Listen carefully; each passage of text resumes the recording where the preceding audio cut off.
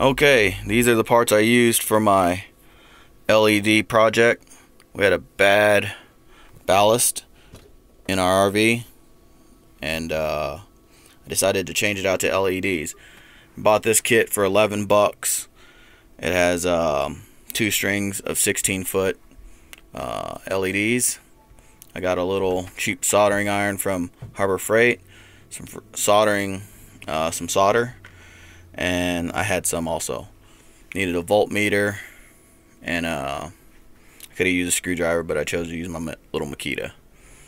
Uh, use a voltmeter just to check the voltage on the LEDs. This is what the LEDs look like now, or the fixture looks like now.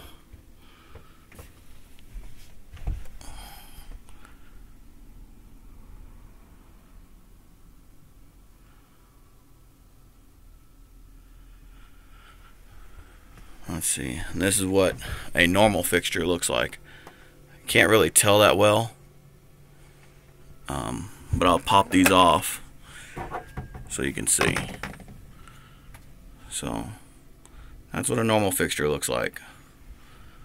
Well, and this is what my fixture looks like now.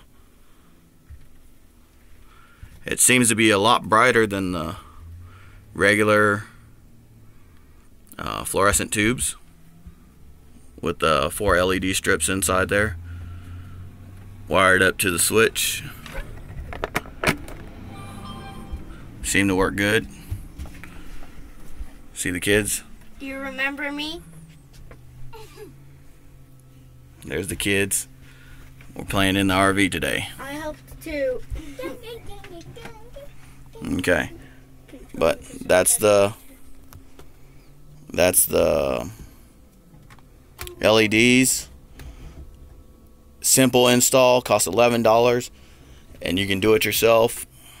Or $11 for the LED kit. I think it was $4 for the soldering iron, $3 for the uh, solder. solder, and took about 15 minutes. I'm going to do the rest of the lights in the RV. I'll update you later when everything gets done. But I really like the way it turned out. Turned out really good.